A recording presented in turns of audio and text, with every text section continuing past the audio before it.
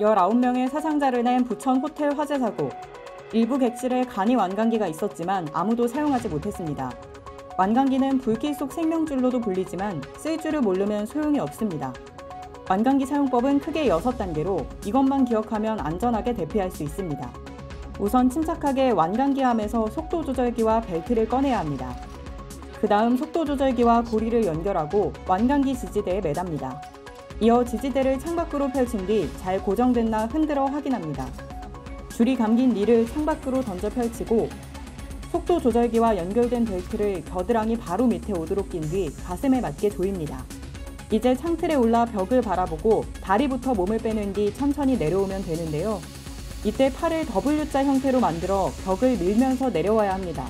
줄을 잡으시면 빙구로 돌기 때문에 손을 앞으로 쭉 뻗어 벽면을 살짝살짝 짚으면서 내려오셔야 합니다.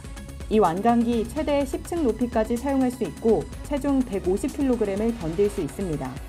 다만 잘 쓰려면 평소 위치를 확인해 놓고 사용법을 숙지해야 합니다. 가까운 소방서나 안전체험관에 문의하면 무료로 체험할 수 있습니다.